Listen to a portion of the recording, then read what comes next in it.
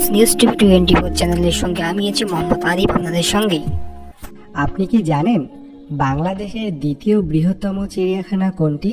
জাতীয় চিড়িয়াখানার পর দেশের অন্যতম বৃহত্তম চিড়িয়াখানা হলো আমাদের রংপুর চিড়িয়াখানা। এটি দেশের দ্বিতীয় বৃহত্তম চিড়িয়াখানা। Rangpur police lines school and কলেজের সামনে অবস্থিত প্রায় বাইশ একর জমিতে উনিশশো আটাশি সালে নির্মাণ শুরু হয় এই চিড়িয়াখানার। এবং উনিশশো নিরানব্বই সালের জুন মাসে এই নির্মাণ কার্যক্রম শেষ হয়। চিড়িয়াখানাটি জনসাধারণের জন্য উন্মুক্ত করে দেয়া হয় উনিশশো একানব্বই সালে। এখানে রয়েছে রয়্যাল বেঙ্গল টাইগার, সিংহ, জলহস্তি, কুমির, বানর, ঈগল, সারস, উটপাখি, অজগর সাপ প্রভৃতি সহ প্রায় বাইশ প্রজাতির জীবজন্তু এবং পাখি।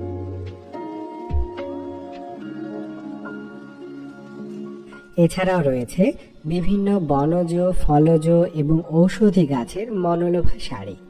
রয়েছে নয়নাভিরাম লেক ও শিশু পার্ক। নাগরিক জীবনের ক্লান্তি ভুলে বিষণ্ন মনকে সতেজ করতে এবং অনাবিল আনন্দ উপভোগ করতে প্রতিদিন বিভিন্ন স্থান থেকে অসংখ্য সৌন্দর্য পেপাসু ও ভ্রমণ বিলাসীগণ বেড়াতে আসেন এই চিড়িয়াখানায়। বিশেষ করে ছুটির দিনগুলোতে উপচে পড়া ভিড় হয় চিড়িয়াখানাতে। পরিবার, পরিজন ও বন্ধু বান্ধবদের নিয়ে কিছুটা সময় আনন্দে কাটাতে জুড়ি মেলা ভার উত্তরবঙ্গের বৃহত্তম এই রংপুর চিড়িয়াখানার।